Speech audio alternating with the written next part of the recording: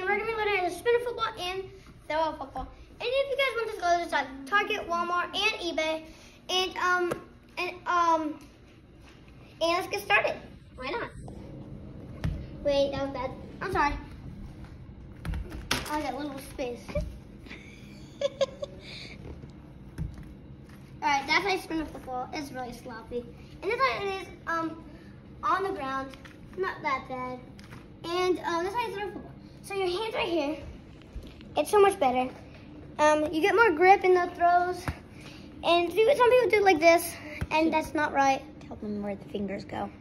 Oh, and these, all right. So I think, all right. So the middle finger goes right here. And then um, the next to the middle finger, um, The ring finger. the ring finger is right here. And the pinky finger, he's just like on the bottom too, but doesn't like go through like the middle finger does. And that's how you get more grip and everything.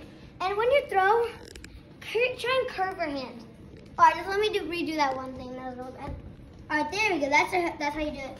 And um, and um, if you want one of these footballs, it's at eBay, eBay, Target, or eBay. Wait, Target, or or eBay.